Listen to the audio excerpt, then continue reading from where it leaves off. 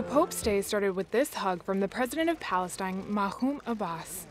Both men walked down the road hand in hand as they made their way to a meeting at the presidential palace of Bethlehem. In his speech minutes later, Pope Francis said that the time had come for Israelis and Palestinians to act with generosity and creativity to ensure that both states may live in peace.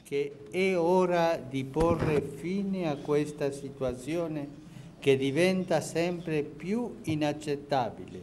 Si raddoppino dunque gli sforzi e le iniziative volte a creare le condizioni di una pace stabile, basata sulla giustizia Francis asked Israelis and Palestinians to begin a journey of peace, a journey filled with sacrifices that will benefit everyone.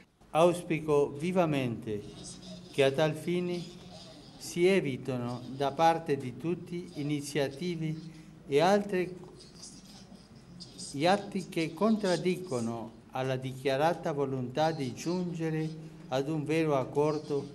La pace porterà con sé innumerabili benefici per i popoli di questa regione e per il mondo intero.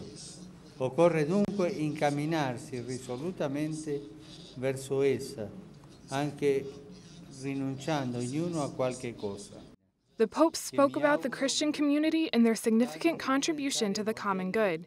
He also stressed that Christians were not second class citizens.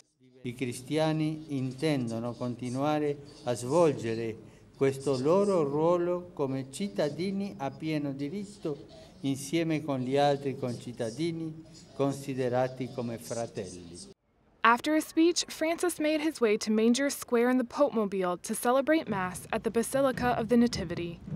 On the way to the Basilica, Pope Francis stopped the car to spend some moments in prayer at the wall that separates Palestine and Israel. violating human rights and values and practice this apartheid law.